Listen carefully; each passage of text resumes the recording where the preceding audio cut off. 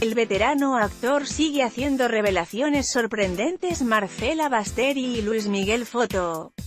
Instagram Para el actor Andrés García el asesinato de Marcela Basteri es un hecho consumado y Luisito Rey, padre de Luis Miguel, sería el principal involucrado.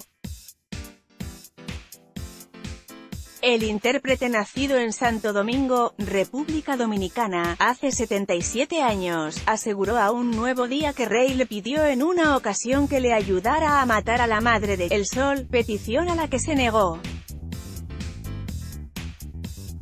Pero en charla aparte con Ventaneando, reveló uno de los grandes misterios que rodean la historia.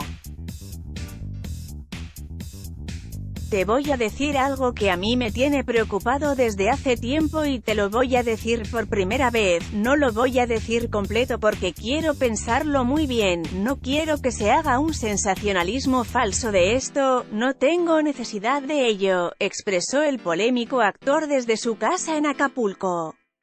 Yo estoy 90% casi seguro que sé dónde mataron a Marcela, aseguró. Voy a dejar un espacio de tiempo porque tendría yo que contarles por qué tengo esa certeza. ¿Por qué? Porque yo fui a un lugar con Luis Rey, él me llevó más bien, junto con uno de sus hermanos y otra persona más, en otro país, por la actitud de esas tres personas yo creo que ahí sucedió el hecho y yo creo que hasta ahí la enterraron, agregó.